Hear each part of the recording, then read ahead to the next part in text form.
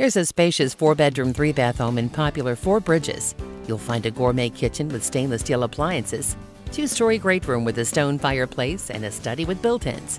There's a spacious master suite with sitting room, three full baths on the second level, an amazing outdoor living space with covered porch and golf course views.